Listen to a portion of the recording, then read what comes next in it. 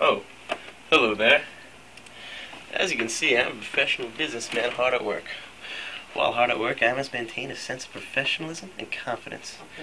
Just because I have to look and feel professional doesn't mean I have to look and feel like a square. Howdy!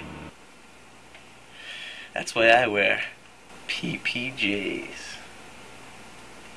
Our third quarter earnings have gone up dramatically since we made the deal with the Chinaman. Johnson, Yes, sir? nice pants. Thank you, sir. Professional pajamas aren't only useful in the office.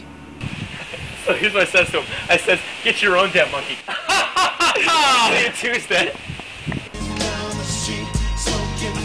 Yo! Break yourself, fool! You better drop them Nikes, bro. Yo, those are some sick pants, son. Give me some love, kid.